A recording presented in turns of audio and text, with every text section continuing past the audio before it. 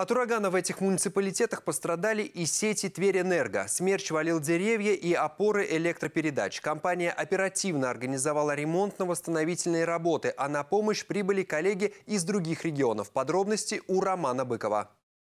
Стихия в Тверской области сопровождалась смерчем, который стал причиной серьезных разрушений. Ветряная воронка буквально сносила все на своем пути. Валила деревья и опоры электропередачи. Из-за непогоды произошли обрывы и схлестывания проводов, что вызвало отключение электричества. Персонал Тверенерго был мобилизован и незамедлительно приступил к ликвидации последствий стихии.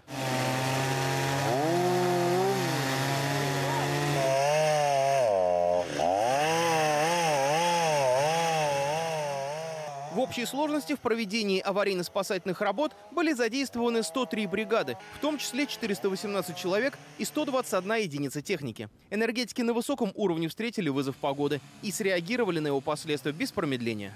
Мы сильно перепугались, когда отключился свет. Мы тогда с семьей смотрели кино как раз про апокалипсис. Порывы ветра были настолько сильными, что а, дрожали окна. А за окном творилось что-то ужасное. Ломались опоры, падали деревья. А на улицу страшно было даже выходить. Но благодаря энергетикам, спасибо, что они отреагировали достаточно быстро и оперативно, нас подключили к генератору.